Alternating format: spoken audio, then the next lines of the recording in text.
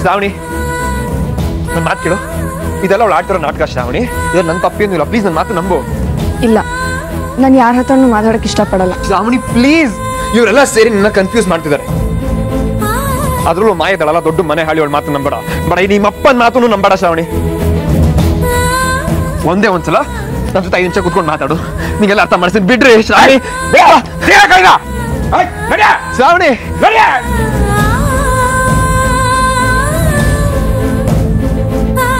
Uncle uncle.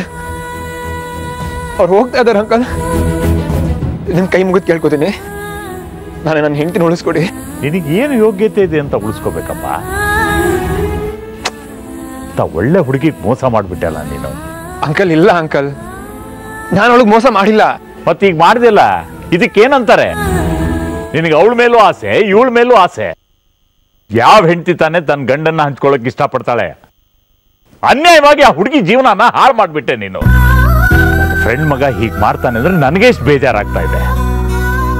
ಇನ್ನು ಆ ಹುಡುಗಿಗೆ ಎಷ್ಟು ಸಂಕಟ ಆಗ್ಬೋದು ಅವ್ರ ಹೆತ್ತೋರ್ಗೆ ಎಷ್ಟು ಸಂಕಟ ಆಗ್ಬೋದು? ತೇಜು!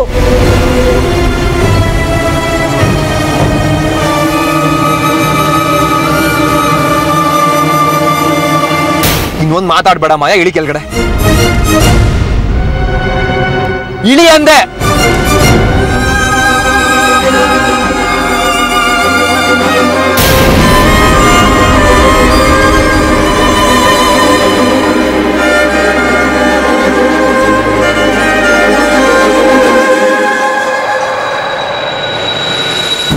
What happen Teju? ಯಾಕೆ ಶ್ರೂಡಕ್ ಬಿಹೇವ್ ಮಾಡ್ತಿದ್ಯಾ? ಇನ್ನೊಂದು ಮಾತಾಡ್ದು ತೆಗೆದು ಬಾರ್ಸಾಕ್ಬಿಡ್ತೀನಿ ಮಾಯಾ. ನನ್ನ ಬಗ್ಗೆ ಅವಳ ಮನ್ಸಲ್ಲಿ ತಪ್ಪು ಅಭಿಪ್ರಾಯ ಬರೋ ಹಾಗೆ ಮಾಡಿದ್ ನೀನು ಮಾಯಾ.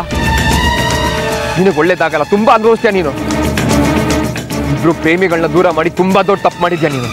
ಯಾವ್ದು ತೇಜು ತಪ್ಪು? ನೀನ್ ಹೇಗೆ ಅವಳನ್ನ ಪ್ರೀತಿಸ್ತಿದ್ಯೋ ನಾನು ಹಾಗೆ ನಿನ್ನ ಪ್ರೀತಿಸ್ತಾ ಇದ್ದೀನಿ. ಪ್ರೀತಿಸ್ದವಳು ಸಿಗ್ಲಿಲ್ಲ ಅಂತ ನೀನ್ ಹೇಗ್ ಓದಾಡ್ತಿದ್ಯೋ ಪ್ರೀತಿಸ್ತೋನು ನನ್ನ ಕೈ ತಪ್ಪು ಹೋಗ್ತಿದ್ದಾನಂತ ನಾನು ಓದಾಡ್ತಾ ಇದ್ದೀನಿ. ಅವಳಿಗೋಸ್ಕರ ನೀನ್ ಏನ್ ಮಾಡಿರೋ ತಪ್ಪಲ್ಲ. ಅದೇ ನಾನ್ ಮಾಡಿದ್ರೆ ಹೇಗ್ ತೇಜು ತಪ್ಪಾಗುತ್ತೆ? ಅವಳಿಗೋಸ್ಕರ ನಾನು ಅಷ್ಟು ದೂರ ಹೋದೆ. ನಿನಗೋಸ್ಕರ ನಾನು ಅಷ್ಟೇ ದೂರ ಬಂದೆ. ಇದ್ರಲ್ಲಿ ತಪ್ಪೇನಿದೆ? ಅವಳನ್ನ ಪಡ್ಕೊಳಕ್ಕೆ ನೀನ್ ಇಷ್ಟೆಲ್ಲ ಮಾಡ್ತಿರೋದು ತಪ್ಪಲ್ಲ ಅಂದ್ಮೇಲೆ ನಾನಿನ್ನ ಪಡ್ಕೊಳಕ್ಕೆ ಏನ್ ಮಾಡೋದು ತಪ್ಪಲ್ವಲ್ಲ ತೇಜು? ಯಾವ ನೀನು?